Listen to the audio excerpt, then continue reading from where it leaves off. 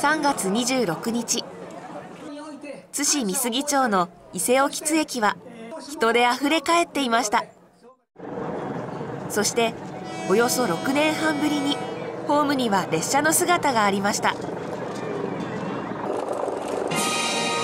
JR 東海の柘植社長や鈴木三重県知事前松市長などが出席し運行再開の出発式が行われました。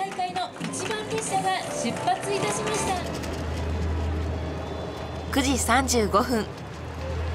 関係者地元住民鉄道マニアに見送られ満員の一番列車は伊勢沖津駅を出発しました。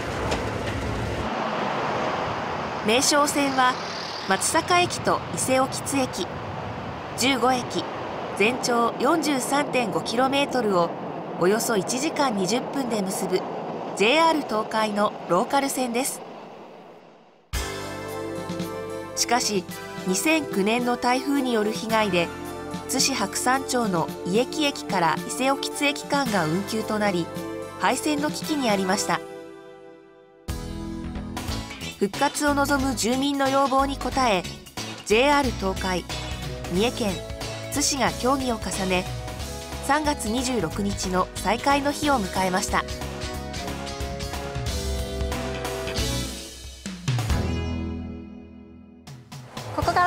2016年度通区委員角谷が名称線の魅力をお伝えします。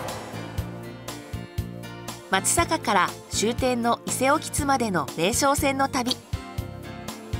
旅のお供にこちらの弁当はいかがでしょうか。桃太郎弁当です。蓋を開けるとふるさとのメロディー。そして国産黒毛和牛のすき焼き。松坂駅の名物駅弁です。それでは9時38分発の伊勢沖津行きに乗って名称線の旅出発進行。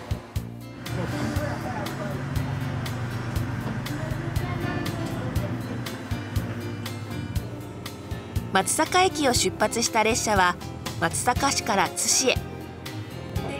津市の一市庁舎や白山庁舎に車を止めそれぞれ一市駅関宮駅で乗車するパークライドでも名称線を楽しめます。名称線はワンマンカーです。松坂駅と伊駅駅以外からの乗車の際は整理券を受け取り降車は一番前の扉です。瀬戸ヶ淵を過ぎると間もなく伊駅駅です。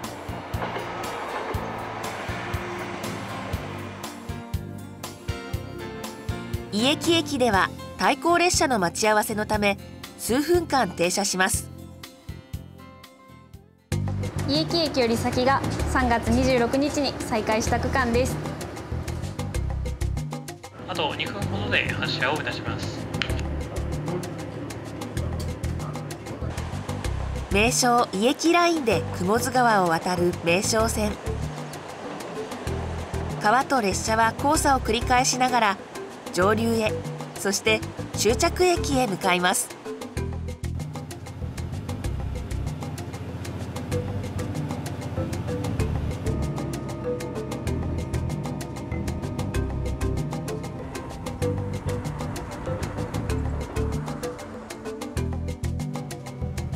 伊勢谷地駅を過ぎてしばらくすると山岳列車のごとく秘境を進んでいきます。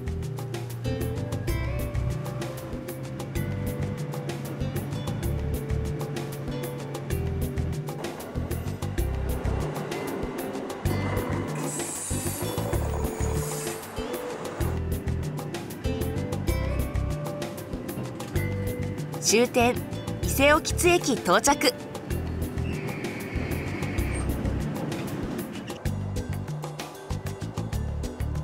ホームの先にある給水塔。蒸気機関車が走っていた頃のものです。駅前の観光案内交流施設で特産品を買って休憩してほっと一息。その後は津市美杉地域の情報を仕入れましょう。伊勢沖津駅前と伊勢谷地駅前で電動アシスト自転車のレンタルもできます。足を伸ばせば伊勢奥津駅から川上山若宮八幡宮までおよそ50分。伊勢谷地駅から君ヶ野ダムへ1時間15分。私は列車に乗って旅をすることがすごく好きなんですけれども名勝線に乗るのは今日が初めてでした。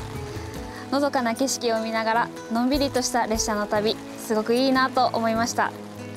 これからもツークイーンとして名勝線やその沿線の魅力を伝えていきたいと思います。